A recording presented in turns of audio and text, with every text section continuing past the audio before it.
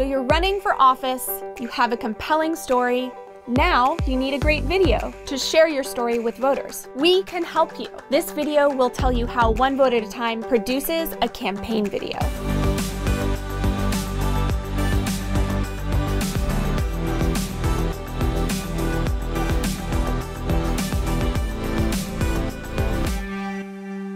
Phase 1 Development of the creative concept.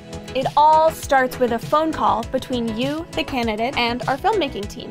This is the creative call. To prepare for the shoot, we need to hear why are you running?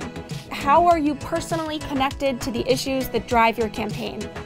After this conversation, the director will create your interview questions or loose script. We'll also ask you about your existing messaging. We want to tell your story in the voice of your campaign. Take time to think about what you want to share with us on the creative call. If you're prepared, we can really collaborate with you. After we've developed the creative concept for your video, then it's time for phase two, production. Production might feel stressful, but don't worry, we've got your back. We'll film your interview or script for about 30 minutes, but remember that only small sound bites end up in the video.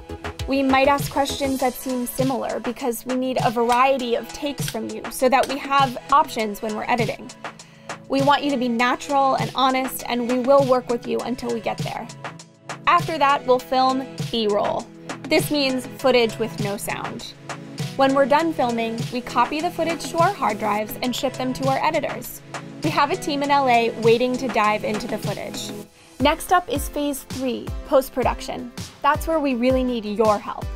Post-production is the most intricate part of our work, so we need your help staying on schedule. Even though we may have an hour or less of footage with you, sorting through it to find just the right moments is hard work. Our directors give the editors guidelines on story structure, tone, and moments that they loved during filming. The editors build the story based on the director's instructions. This video assembly takes a lot of skill and patience. Then, the editors send your director a rough draft of the video to make sure that it's in line with the creative concept that you and the director discussed. This process can take rounds of notes to get right. After the director signs off, that's when we send it to you. This is your opportunity to send us your feedback. Once you get the video, you have 72 hours to send us any notes you may have. We know that you're busy, but this step is essential to making a video that's true to you.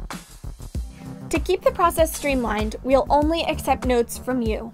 If you'd like to have your campaign manager, caucus director, or others weigh in, that's great but please make sure to send us all feedback in one single email within 72 hours. We will do our best to make those changes with the footage that we have. It's important to give us all of your notes the first time around. Repeating this process after we export your final videos is not possible as an in-kind contribution. We will have to bill your campaign for our editor's time for any additional rounds of notes. After we export, then we upload your videos and send them to you for final approval. You! We made it! Once you sign off, we edit your social media cutdowns, 30 second and 15 second versions of your videos.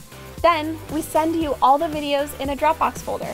You're free to use them on your website, social media, emails, TV, and anywhere else that you want. Serving dozens of candidates with in-kind campaign videos takes a full-time team of diverse and talented people working really hard. We pride ourselves on delivering high-quality content quickly. We're dedicated to helping you succeed, and we are honored to be a part of your fight. We'll all be rooting for you on Election Day.